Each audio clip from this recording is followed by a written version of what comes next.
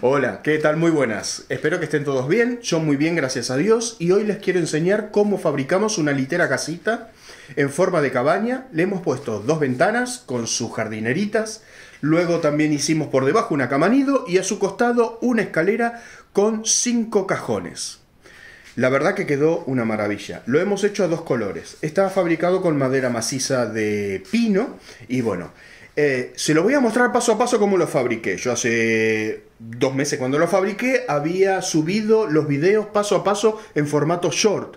Pero muchos me enviaron mensajes diciendo si por favor podrías unificar todo eso short y hacer un video completo para que sea más entendible. Vale, lo hemos hecho. Y bueno, esto es lo que tengo para ustedes. Si les gusta, me encantaría que me digan un comentario de qué les pareció este video, de qué les pareció la cama, como la fabricamos y si tienen alguna sugerencia, alguna duda o algo, los leo a todos. ¿Sí? Si les gusta, me regalan un like. Si no les gusta, me dicen por qué no les gustó. Y si no se suscribieron, se pueden suscribir porque es gratis. Aprovechen. Vale, vamos a verlo. Y lo primero que vamos a hacer para esto va a ser la elección de la madera. En este caso trabajamos con pino, que es por lo general por lo que más se trabaja en todos los países. En España tenemos pino insigne, pino radiata y pino suecia. Este último es el que vamos a elegir nosotros porque no tiene tantos nudos. Eso es muy importante. Eviten que tenga muchos nudos la madera. De esa manera eh, no correrán peligro de que se quiebre alguna zona sensible. Y después con respecto a las medidas, nosotros vamos a utilizar de 5x5, vamos a utilizar de 9x4, de 6x2, vamos a utilizar de 4x4 y para, uy, y para los somieres vamos a utilizar de 7x1. Entonces, cada uno va a elegir el diseño que quiera. De acuerdo a eso es en los cortes que se van a hacer. ¿De acuerdo? Y con esto arrancamos y nos ponemos a fabricar. Y lo siguiente que vamos a hacer es lijar. Este paso es muy importante. Recuerde que estamos fabricando una cama para nuestros niños. Entonces, todo lo que sea canto y bordes, por favor, redondearlos siempre. Hay muchas máquinas para utilizar. Por ejemplo, la lijadora de banda, la orbital, el mouse o a mano inclusive. ¿Sí? Eh, en eso sí, les pido que presten mucha atención. Como ustedes pueden ver, nosotros, después de haber hecho los recortes y todo, le hemos dado a todos los bordes, lo hemos redondeado. ¿Sí? Todo, lo que es pata, lo que serían las guías de las camas, lo que serían los listones que van a apoyar, todo, todo, todo. Eso es muy importante. Y una vez que terminamos de lijar, ahora sí vamos a armar.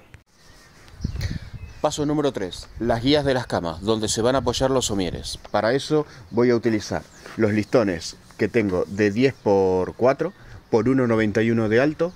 Luego tengo dos patas de camas de 5 por 5 que tienen 2 metros de alto.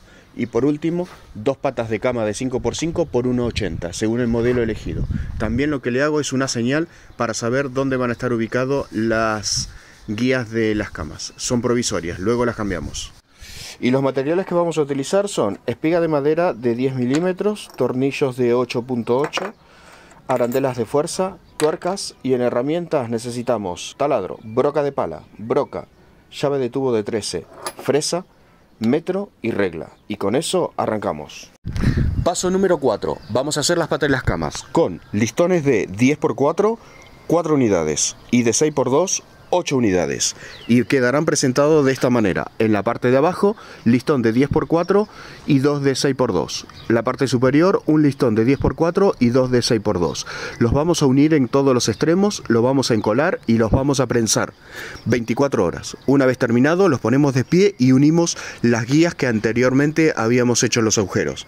De esta manera es como queda. Esta es la parte de atrás y la parte de adelante queda con la señal que le habíamos puesto a todas y quedarán las dos espigas de 10 milímetros y el tornillo de 8x8.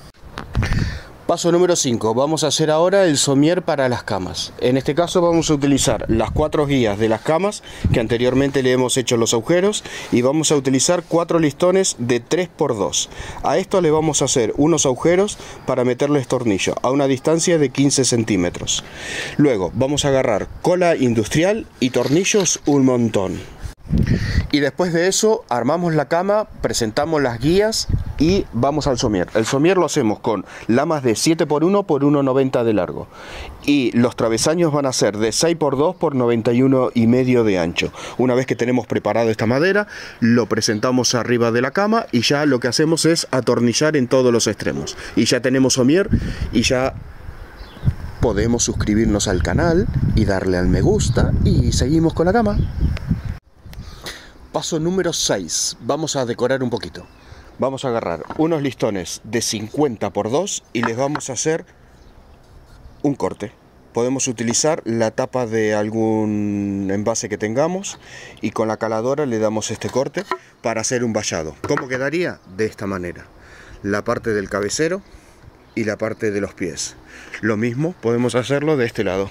¿Sí? Acá yo solamente los presenté, porque eso sí, tener muy presente. Solo presentarlo, no lo fijen, porque cuando tengan que pintar, es mejor pintarlo por separado y después los unimos. ¿sí? El acabado quedaría mucho mejor. Y luego podemos hacer lo mismo en la parte de atrás, de punta a punta, y la parte de abajo una parte. Y la escalera lo pueden hacer por este lado. Yo he hecho este hueco porque voy a hacer una escalera un poquito especial. Siguiente paso, las vallas de seguridad. Para eso voy a utilizar cuatro listones de 191 y medio por 6 por 2. Tornillos, voy a utilizar este tipo de tornillos que va con cabeza llave Allen. ¿sí? Esta tuerca se lo voy a meter adentro de la madera y con esto lo vamos a enroscar. Y lo vamos a colocar en cada extremo de la cama. Una ahí, otra ahí, luego arriba, otro. Para luego poner las mismas lamas que habíamos puesto en el cabecero y así cerramos la parte de arriba y la parte de abajo. Ese es el modelo que nosotros vamos a utilizar. Ustedes también pueden llenar la parte de adelante si es que lo desea. Yo aquí lo que voy a hacer es una ventana, ¿de acuerdo? Así que seguimos en marcha y sí, hace frío. Paso número 7. Vamos a hacer la primera parte de lo que va a ser nuestro tejado. Para eso vamos a utilizar 2, 4, 6, 7 listones de 4x4, 2 con 74 centímetros de largo, 2 con 86, 2 con 105 y 1 con 108. Luego vamos a utilizar los mismos tornillos que usamos para las guías de seguridad. Y de este chirimbolo que no sé cómo se llama también vamos a usar. Así que nada, esto es la primera parte y ponete las pilas, suscríbete. Y la segunda parte del tejado, lo armamos. ¿Cómo lo armamos? Muy fácil. Nosotros las dos patas más altas habíamos cortado en inglete. Ahí usamos dos listones, uno más largo que el otro, para hacerle la parte del ángulo. Lo mismo hacemos con este extremo, ¿sí? Luego los montamos y acá hacemos un corte para hacerle la siguiente pata. Lo mismo hacemos de ese lado. La unimos. Yo lo que hice acá fue un recorte para agarrarlo. Por esto no nos preocupemos porque después esto lo vamos a revestir. Ahora, la parte de arriba vamos a colocar dos listones, dos traves, tres travesaños, uno, dos y tres ahí. Luego le vamos a hacer el revestimiento con el tejado. El va a venir tejado a dos aguas, una ventana con carterones y otra ventana más acá abajo. Así que bueno, sigamos. Siguiente paso, ya ni me acuerdo por qué número vamos, pero ustedes ya saben, ¿no? Si no, se miran todos los shorts anteriores y calculan ustedes. Tejado, el tejado ponemos a dos aguas como le había dicho. La medida, bueno, la medida que yo le hice fue de 70 por 76, pero ustedes tienen que ver, depende de la altura que le hayan hecho, va a ser el largo que le van a tener que poner, o sea que cada uno le va a tener que sacar por su cuenta la medida. Luego yo le he hecho unas ondulaciones para decorar un poquito y ahí tenemos una ventana y otra. Ahora mismo parece una casa abandonada, pero bueno, ahora le voy a hacer el recorte y le vamos a hacer el agujerito, el agujerito ahí para que los niños puedan mirar por la ventana. ¿Sí? Cada uno lo hace a su manera. Yo les voy a dar una sorpresa cuando tenga el video completo. Así que ahí está. Ponemos panel, panel, panel y panel. Y arriba.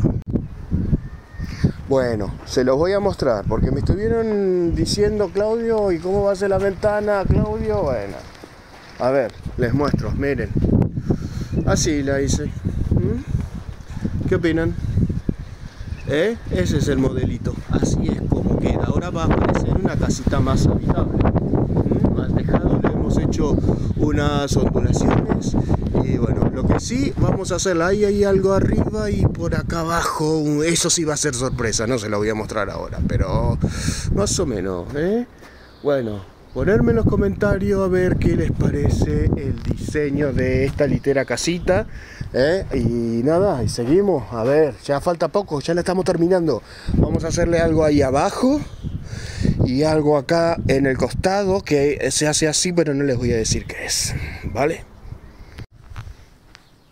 Y como pueden ver, ya no la tengo acá. Ya la pintamos, la terminamos, la entregamos y bueno, el resultado es este.